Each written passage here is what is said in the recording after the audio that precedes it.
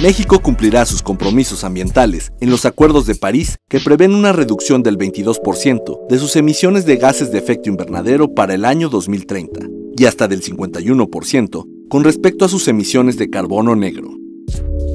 Lo vamos a cumplir porque dos o tres políticas públicas no hacen la totalidad de las reducciones, ni las medidas de un programa de mitigación de gases de efecto invernadero dijo la subsecretaria de Relaciones Exteriores, Asuntos Multilaterales y Derechos Humanos, Marta Delgado Peralta, al responder sobre la autorización de la refinería de Dos Bocas en Tabasco y el tren Maya. Al respecto, el titular de la Unidad Coordinadora de Asuntos Internacionales de la Secretaría del Medio Ambiente y Recursos Naturales, Rodolfo Godínez, dijo que se ejecutan acciones al respecto de manera gradual.